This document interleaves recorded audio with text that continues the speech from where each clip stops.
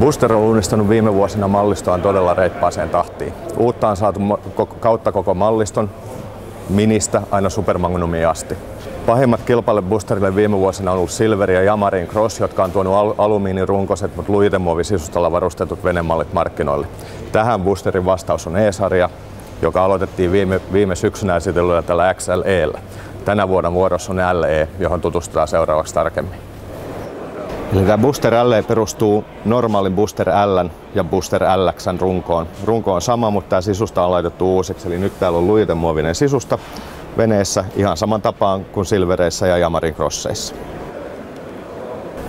Tämmöisten tyypiltään tuplapulpettiveneiden yksi vahvuus on se, että korkea ja täysleveä tullilasi antaa hyvän viimansuojan tähän ohjaamoon ja oikeastaan myös matkustamoon ja mahdollistaa myös, myös varsin hyvän ja helpon käytettävyyden pressulle, eli tämän koko matku, takaosan matkustamoon saa katettua melko vaivattomasti kuomulla. Lisäksi kulkeminen on helppoa. Tässä Booster Lssäkin on vakiona avautuva tuulilasin keskiruutu sekä myös sitten tuo tuulilasin alla oleva alaovi. Muutama aiempi booster-malli on saanut enemmän tai vähemmän kritiikkiä siitä, että akku on ollut sijoitettua huolto, huoltojen kannalta aika epäystävällisesti tuonne peräpeilin sisään.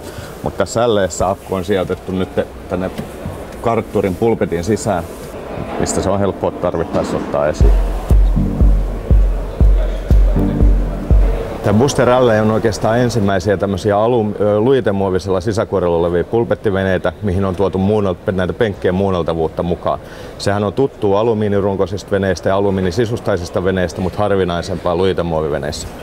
Tämä, esimerkiksi tämä peräpenkki on täsmälleen sama, mikä tavallisessa Booster Lssäkin, eli se koostuu kolmesta tämmöisestä muovisesta istuinlaatikosta, minkä alla on säilytystilaa, mutta nämä laatikot on tarpeen mukaan irrotettavissa, eli periaatteessa voi jättää vaikka rantaa, jos tarvii enempi kuljetustilaa tänne veneen peräosaan.